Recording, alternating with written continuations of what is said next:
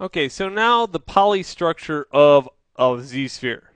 Okay, now um, if you still have a z-sphere out, just basically get rid of it. If you want, you can initialize ZBrush and hit yes. Okay, what I want to do is start out with a fresh z-sphere, click and drag it out, and hit edit. Okay, I immediately want to go to transform and activate symmetry. What I want to show you is the basic poly structure on a z-sphere and how it works. This line represents the horizontal axis or x-axis of the z-sphere.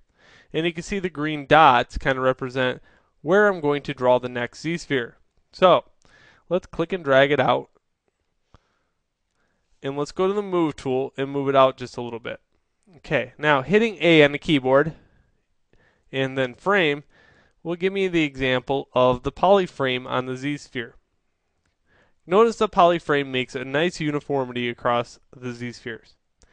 But if I hit A, and let's say I rotate it, let's rotate it up, and hit A, what happens is this is now flipped on both sides. So you can see that the poly structure does not make sense in this axis. Okay, well that's what happens when the tubes cross. Remember Ghostbusters, the movie? Don't cross the streams. Same thing applies to z-spheres. Here is good. If you hit A, you can see that the poly mesh maintains its its uh, uniformity across. But anytime you get too far up, bam, gets this weird torque going on.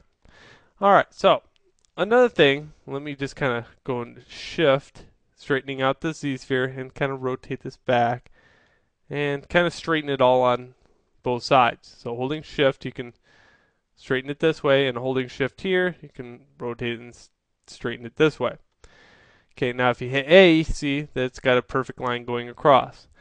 What you want to do is stay away from the rotating of the NZ spheres until you get savvy with them. Basically because if I rotate this just a little bit and hit A, I have now torqued it. Now, if, if you're meaning to do this within your polymesh, that's fine. Just keep in mind that the sculptability of this becomes a little flawed at times. Uh, once, keep in mind here, I only have a little bit of a polygon going on.